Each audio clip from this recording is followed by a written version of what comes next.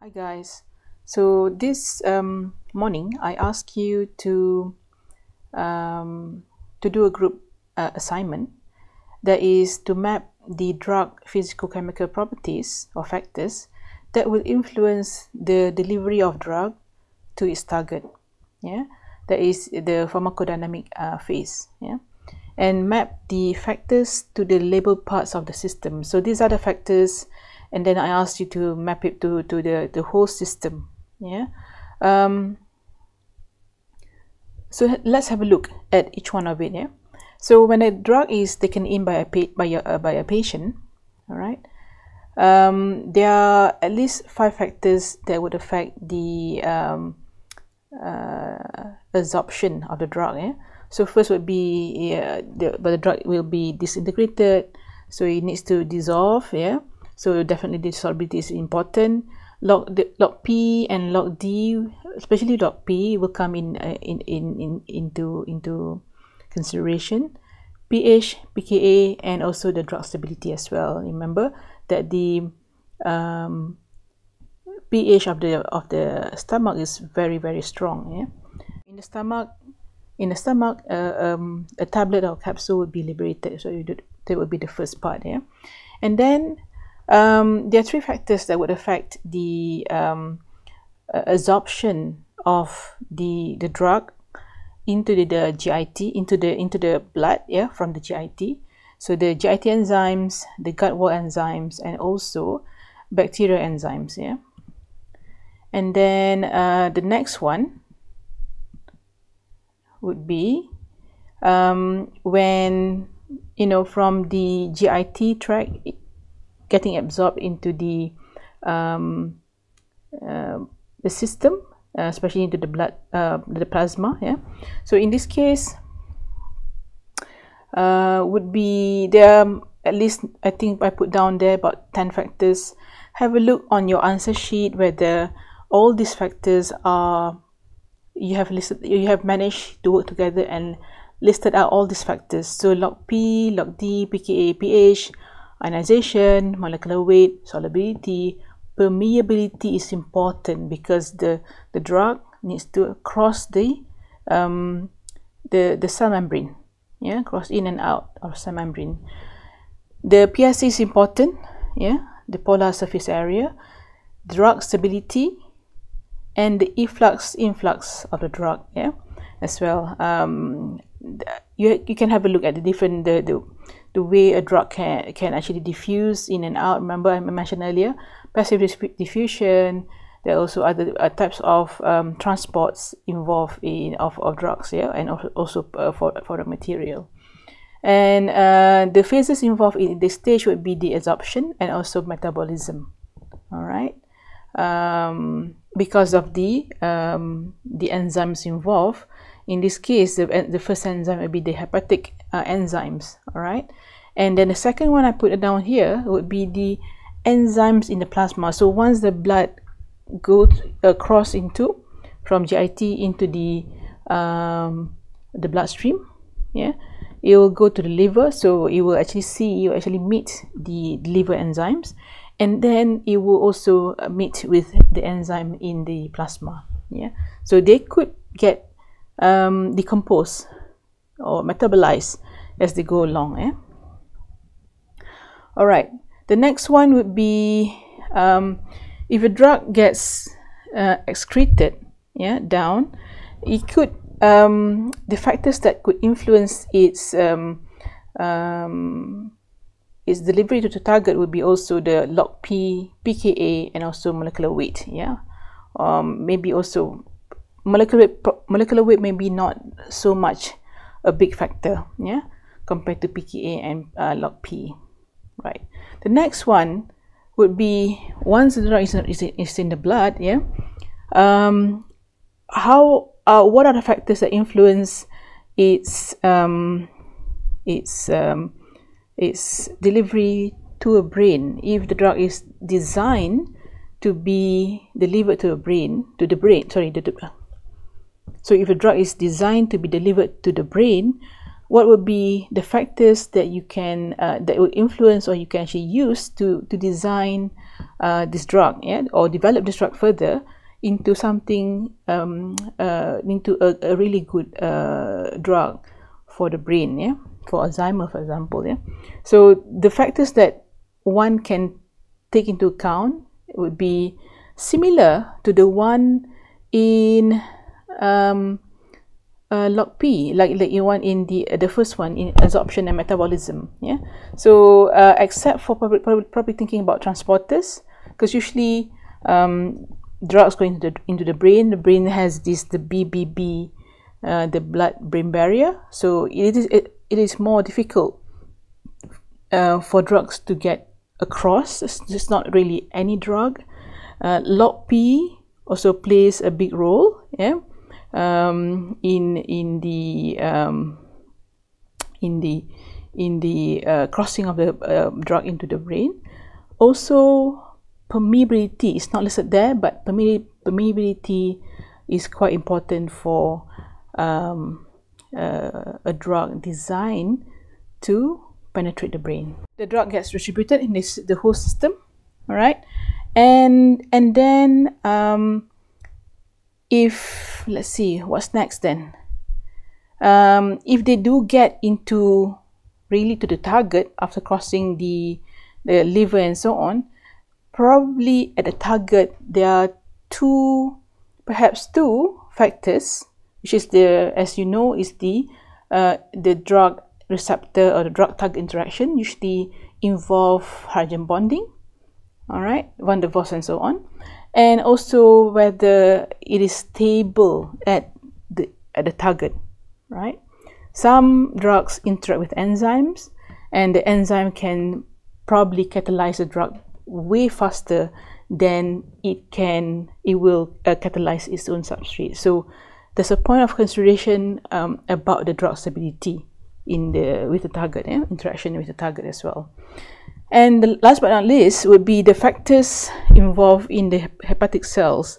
So log P, log D is um, are actually um, quite important factor as well. Yeah, PKA, pH, PSA. I put down here. you can see, is actually more than five. Yeah, more than sorry, more than four. But of course, yeah, all the factors I actually asked you to do is at least, you know, the, I use the word at least, so that that gives you an idea that there, these factors should be considered yeah in this in the different uh, organ or different phases of the uh, let me yeah?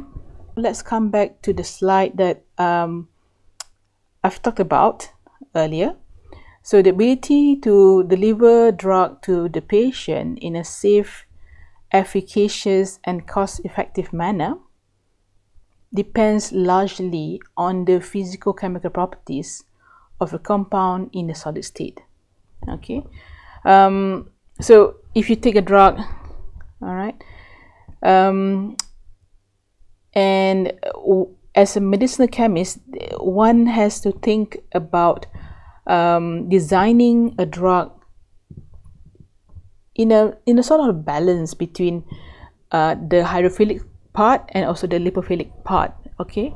And balance doesn't mean it's equally 50-50 it could be you know it could be like 30 70 it, can, it could be also be 40 60 depending on the target where the target is. Okay? So um so what are the factors? What are the rules? Yeah? What are the principles involved in in determining all these uh, physical uh, chemical properties um, that affects a, a lead molecule, um, you know, um, pharmacokinetics, and also uh, bio, oral bio uh, availability as well. All right. So there are actually four factors or four rules. Yeah.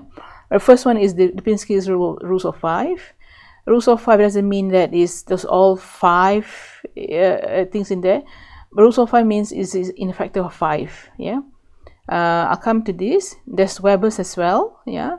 Uh, polar surface area. These are the the parameters that you, uh, one needs one needs to consider. And also about drug solubility all right so Lipinski's rule of, rules of five. Rules of five yeah? Um, so there's the first one is about the molecular weight second one is about HBD and then the HBA and the last one will be the C log P. C log P stands for calculated log P yeah? So let's have a look. So Lipinski's predict that um, if a drug has got a molecular weight less than 500 HBD equal or less than 5 so the sum of uh, hydroxyl group and also NH group. If the HBA has less than 10 that is a sum of oxygen and nitrogen. And the calculated log P is less than 5 yeah? With all this combination if, if a drug fulfills this these rules of 5 they are most likely to be a promising uh, drug for um, oral administration. Okay. Um, so let's just have a quick revisit yeah? So uh, we talk about oral administration you know going through the stomachs uh, the stomach and uh, going through the uh, GIT and so on but I think the critical part would be the absorption yeah of a drug which is a transport of of drug from the site of administration to the systemic circulation yeah. By crossing the biological membranes I would have would put an S in there yeah? is the number of membranes that they're talking about yeah. So let's just have a look at um, a few drugs here um, so if you take aspirin and if you take amoxicillin, if you put in the molecular weight, the HBD, HBA and so on, they all fulfill the Lipinski's rule of 5. So they are actually also given as an oral drug as well. Yeah. But then if you take um, uh, silvestrol, all right, and also cyclosporin, okay, silvestrol is a very potent compound, yeah, very potent compound. Cyclosporin is very very good drug okay. They fulfill everything. Um, they fulfill Lipinski's rule of five except for the molecular weight. These are huge molecule. The molecular weight is bigger than 500 uh, you know. So what happens here? All right so there must be um, other explanation that that could actually explain why um, this this molecule this big molecule um, become can actually um, serve as a, as a drug yeah? So let's have a look at um, so another scientist come in. So another scientist comes in and offer um, an, uh, you know another explanation to this observation. So Veber yeah showed that the oral bioavailability of drugs can be independent of the molecular weight. And what it depends on, it depends on whether the molecule is flexible. All right. Um, it has a number of conformations. So if they are flexible and actually adopt a number of conformations, Veber says that the drug drug is less likely to be orally active.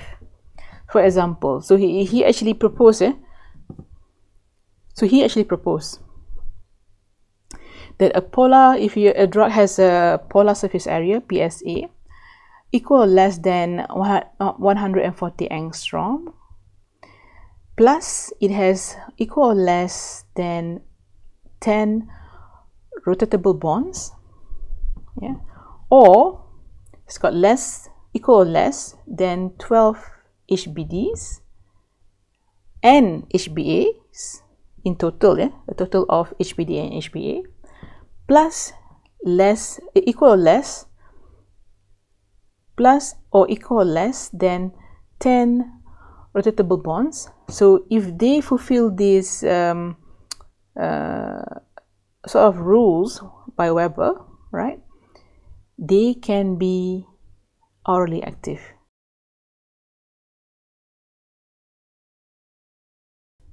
Okay, let's just have a look at captopril for example here this is a you know 3d structure of uh, captopril if you see the um, the surface volume, uh, surface view of uh, captopril. Yeah, um, you know there are parts of it which is which you see the parts on the the oxygen here, nitrogen, oxygen as well. This is sulfur. So these are sort of polar uh, parts of the molecule. Yeah.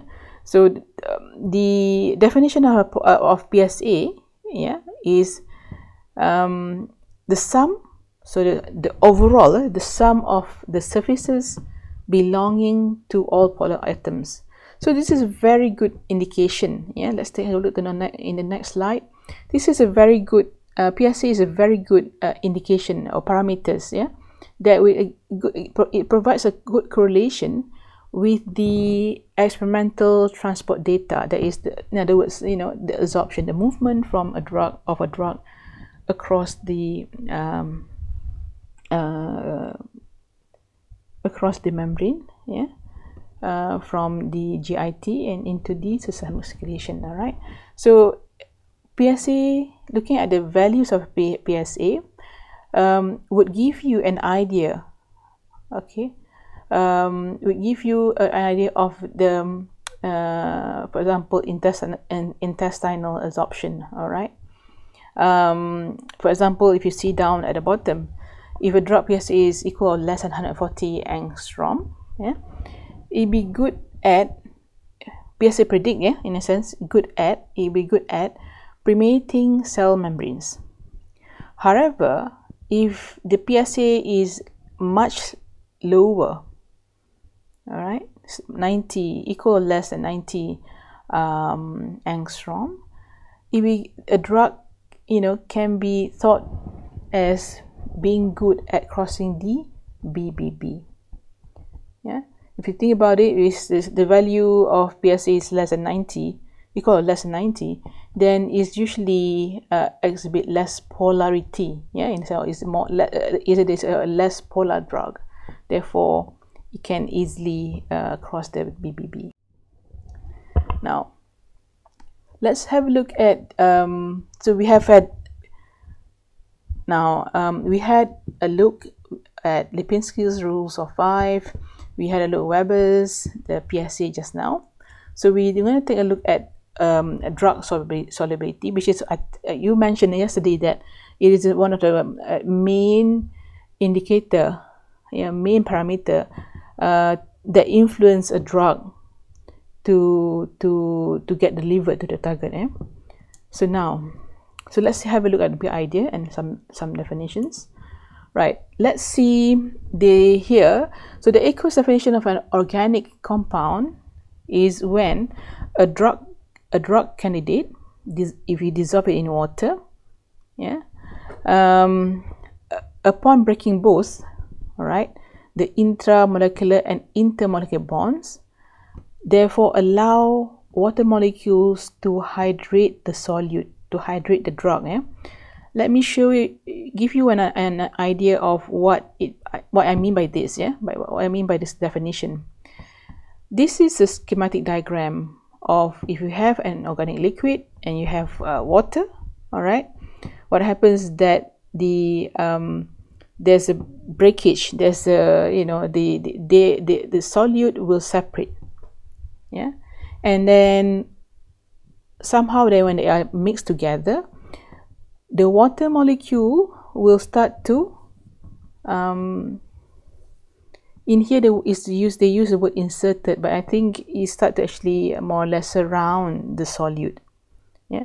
And um, that sort of like form uh, uh, here it, it, it is it is explained in a way that it is actually form a cavity in the middle and water molecules surrounded it yeah? If you look at a molecular level as well if you have a uh, example uh, a phenol group yeah? You have benzene there's no way um, there are very little way of uh, water molecule interacting with uh, benzene but if you actually add an OH group uh, so benzene become a phenol yeah there's a potentially uh, three water molecules that actually uh, they can actually um, interact yeah, through hydrogen bonding with the OH group of the, the, the phenol. Yeah. so um, and and more if you have more functionalities you have uh, in addition to the OH group you have the hydroxide group you also have the carboxylic acid group as well.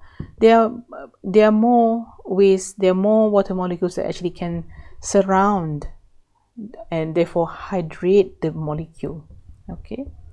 So the, in, in general the more functionalities um, they are in a molecule the the more water molecules can actually uh, surround it and therefore hydrate the molecule so um, this is the basis of Lemke's um, uh, prediction. Yeah, the he uses the word um, the when you have a functionality. Yeah, it will it will impart a, a kind of water solubilizing potential. Yeah, I think some of you actually have seen um, the table um, by Lemke's. Yeah um, between the monofunctionality and also the polyfunctionality yeah in in um, in a drug molecule there's usually more than one functional functional group so when you have more than one functional group you tend to actually use the polyfunctionality the, cal the calculation for the polyfunctionality than the monofunctionality yeah so um, Lemke uses the functional group to predict the water solubility of an organic compound. Yeah. Um, remember I mentioned earlier, benzene. There's probably very little attention, uh, uh, uh, very little potential uh, to to form for water for water molecules to hydrate it. Yeah, there's there's no way to there's no way to to actually form an hydrogen bonding. But then, if you actually um, introduce, uh, uh, you know, a phenol group or another NH2 group and so on, that will increase the water solubilizing potential um, uh, into the molecule or into a drug. All right. There's also the um, different ways. So in a drug discovery scenarios, there's also different ways of um, measuring solubility. So I'm going to just extend. Just now we had uh, a look at the definitions um, of say sorry uh, one definition of solubility. Then I showed you some pic uh, some uh, pictures, the schema schematic, and also the um, the molecular molecular view, just to give to to give you an uh, a better idea of what um, solubility, means. Yeah. Uh, but now in a drug discovery scenarios, there are um, three types of solubilities that uh, one could encou encounter. So one would be the apparent solubility. That means um, a scientist or medicine chemist will actually measure, yeah, um, how a drug would dissolve in a solvent, for example, in water, right? um, by incubating it over a period of 24 hours and then you start to measure it yeah? With the intention this is important with the, with the intention that you will reach equilibrium within that period of 24 hours all right and then there's also the kinetic solubility yeah? Instead of waiting or taking the measurement of the um, uh, of the, dissolution of the drug within in about 24 hours in kinetic solubility, it will take on they will actually measure up to two hours. All right. So and uh, how they do it is that um, they will actually measure the concentration of the the compound in solution at the time when the first precipitate appears. So this is I think when they try to do the supersaturation of uh, of a particular um, uh, concentration of, of particular uh, you know uh, mixture. All right? Um, if you see here the kinetic solubility is always somehow bigger than the intrinsic solubility. Intrinsic solubility is similar or is the same? I would say not similar. Is intrinsic solubility is the um, equilibrium solubility yeah. So um, I mentioned here as well just you maybe you can just take a look um, uh, in detail on the um, of the table. Um, but I would actually men just mention here that kinetic solubility is usually way bigger than equilibrium or intrinsic solubility. All right so depending on uh, the situation of the um, drug discovery scenarios depending on which one that will um, sort of um, okay la last but not least let me just leave you with this uh, quote yeah? In the new world you know we think about the big fish eating the small fish. It's not so much of that. Yeah they're probably the, the old world but in the new world the world whereby we are actually going into the fourth industrial revolution um, we're talking about also machine learning artificial intelligence you know uh, robots and so on. It's not so much a big fish versus the small fish. Is what matters more is the the fast fish that is now the slow fish. Yeah. So let me quote unquote uh, Klaus Schwab. So with that um, thank you. So I'll see you in class next week yeah? With that thank you for watching. I see you in class next week